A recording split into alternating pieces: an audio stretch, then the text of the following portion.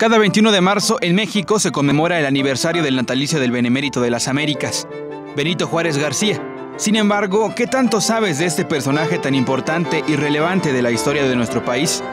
Te presento algunas curiosidades que probablemente no conocías de don Benito Juárez García.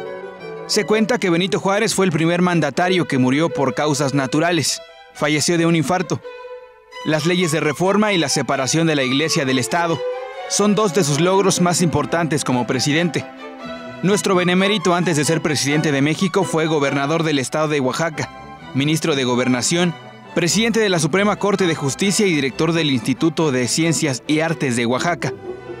Margarita Maza, su esposa, era hija adoptiva de Antonio Maza, quien fue su patrón en uno de sus trabajos. En México hay aproximadamente 1.528 calles con su nombre. Gracias a Juárez, el 12 de diciembre es fiesta nacional en honor a la Virgen de Guadalupe. Juárez fue nombrado benemérito en otros países, en República Dominicana el 11 de mayo de 1867 y en el Congreso de Colombia 10 días antes.